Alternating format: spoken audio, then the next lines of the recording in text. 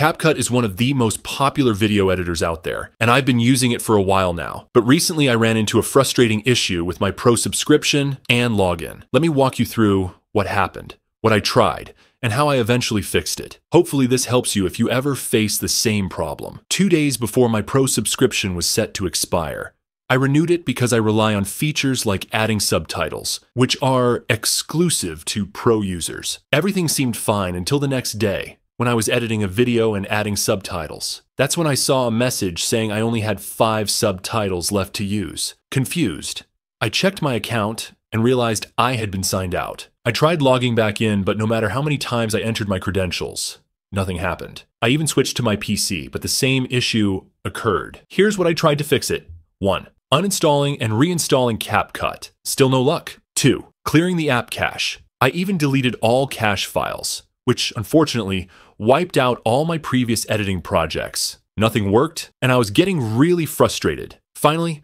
I tried two last solutions, and here's what worked. 1. Submitting feedback in the CapCut app. Open CapCut and tap the feedback icon in the upper left corner. Under Feedback, choose Issue, then click Pro Features. In the description, explain the problem clearly including that you can't access pro features, even though you're a registered user. Attach a screenshot of the issue and provide your email address in the contact info section so they can reach you. 2. Submitting feedback on the CapCut website. Visit the CapCut website and click Help in the upper right corner. Choose Feedback and describe the problem in detail, just like you did in the app. After submitting feedback in both places, I waited a few minutes and tried logging in again. This time, it worked. My Pro account was restored. However, all my previous projects were gone, and I'm still figuring out if there's a way to recover them. So, if you're having trouble with CapCut Pro, try these steps.